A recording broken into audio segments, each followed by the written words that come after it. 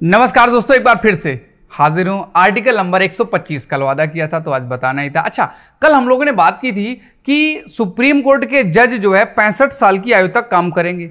और भैया, काम करेंगे तो उनका घर परिवार भी है। पैसे की भी आवश्यकता होगी, वेतन भत्ते भी तो चाहिए। आइएगा, इनके काम काज के लिए खर्चे कहाँ से आते सारी बातें बताऊँगा आज। Article number one two five में स्वागत है आप सबका। चलेगा भाई, आर्टिकल 125 आ जाओ आ जाओ आ जाओ, आ गया। चलेगा न्यायाधीशों के वेतन और आदि। सलारी कहाँ से आएगी? पढ़ते हैं क्या लिखा है? उच्चतम न्यायालय के न्यायाधीशों को ऐसे वेतन का संदाय किया जाएगा जो संसद विधि द्वारा तय करे।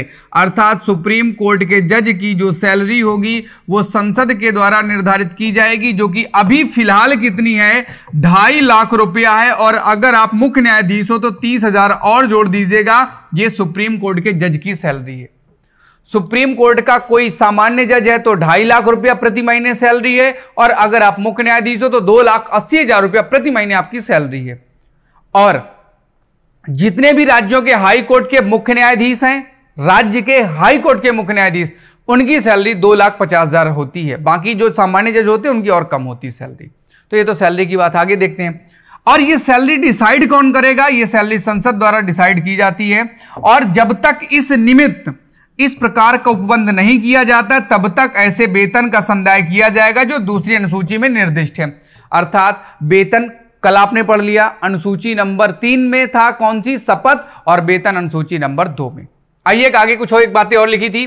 प्रत्येक न्यायाधीश ऐसे विशेषाधिकार प्रिविलेज आर्टिकल 14 का अपवाद आर्टिकल तीन सौ इकसठ का अपवाद, क्या है?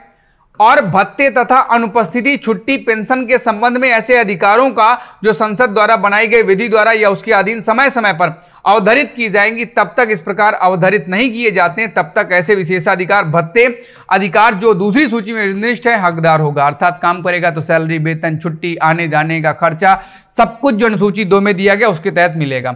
और आगे इन फ्यूचर चल के संसद नए नियम के माध्यम से उनकी और सैलरी बढ़ा सकती है। वो तो बढ़ाई जा रही है। अभी कितनी सैलरी तक आ गए?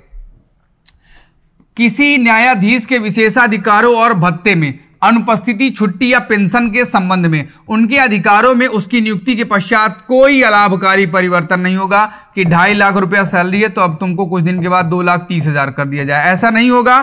ढाई लाख तो ढाई लाख, आगे और बढ़ेगा, घटेगा नहीं। एक बात मैं आपको बता देता हूँ। सुप्रीम कोर्ट और हाई कोर्ट दोनों के जो जज होते हैं, इनकी जो पेंशन होती है, पेंशन दी जाती है केंद्र के द्वारा। सुप्रीम कोर्ट और हाई कोर्ट के जज की पेंशन कौन देता है? केंद्र सरकार देता है, जबकि सुप्रीम कोर्ट के जज की जो होते हैं, उनकी सैलरी केंद्र देता है और हाई कोर्ट के जो जज होते हैं, उनकी सैलरी कौन देता है? राज्य देता है। मतलब हाई कोर्ट के जज की पेंशन केंद्र सरकार देती है, राज्य नहीं देता है। मुझे आज के लिए दीजिएगा आज्ञा, कल फिर मिलूँगा article number one two six के साथ। हँसते मुस्कुराते रहिए, वीडियो पसंद आया तो लाइक ज़रूर कीजिएगा, कभी दिल करे तो शेयर भी कर दीजिएगा।